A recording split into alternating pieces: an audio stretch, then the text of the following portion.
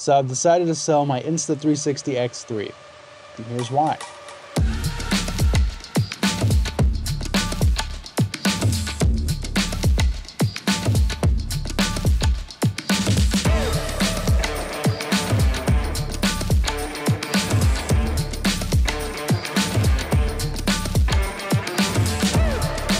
First off, I'm shooting on the Pocket 3 right now, and it's tracking me. If I move around, it's keeping me in frame, all that good stuff.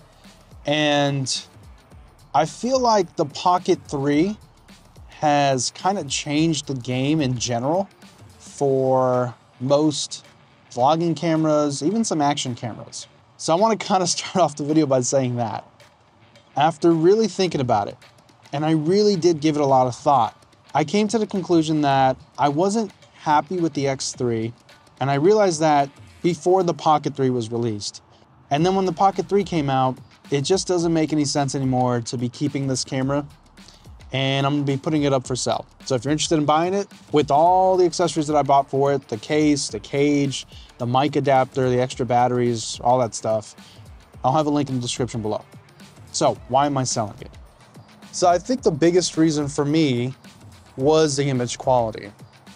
The Insta360 system is very good, and I'm not saying at all that like you shouldn't buy an Insta360 or if you bought one, it's no good and you should return it, none of that. It's just not the right camera for me. So, number one was the image quality. I couldn't ever get the image to look good or decent. It was always very grainy. The reason why I bought the Insta360 X3 and now the Pocket 3 is because I want a camera that was a vlogging slash travel companion. Something I can take with me, shoot anytime I felt like it without having to take like a big old camera or all these expensive equipment and lenses and things like that and capture the moments or vlog for my YouTube channels or just capture those dad activities with my kids. So I thought the Insta360 X3 and the Insta360 in general, the platform, would be a good idea. But I could never get over the image quality. And I'm not talking about pixel peeping or anything like that. I'm just talking about basic image quality. It was always grainy, even in direct sunlight. And yeah, I could get it to work. I could get it to look okay and I can, you know, shoot and log and do whatever and color grade for a really long time and all that good stuff. But it was a lot of work and it wasn't reliable. It was really hard to like figure out if you were actually getting a good image or not. And the 360 thing, which I think is the biggest selling point because you can shoot first, reframe later, was not reliable. There was plenty of times when I imported everything into the app on my computer, reframed everything, exported, thought everything was good, brought into Final Cut, and they were like in a cube format. And I don't remember pressing anything. Like I know I didn't because there's several videos, you know, to put it in that form. I know I reframed it and keyframed and all that stuff. And then I personally deleted the original files, which was bad on my part. Sh we should never do that. And then I lost everything. And a lot of family moments were lost on this camera. But besides that, anytime I was filming in low light, I just, I knew that I was going to be disappointed. For example, we went on a Disney trip, California Adventure for those of you guys that live in California, I'm sure you guys know, but it's the whole California uh, Oogie Boogie Bash or whatever Halloween thing that they do where they close off the park. And if you have the special event passes, you take your kids, you trick or treat. It's a lot of fun. It's really cool. If you haven't done it, highly recommend it. I took the Insta360 with me, and the footage is pretty self explanatory, in my opinion.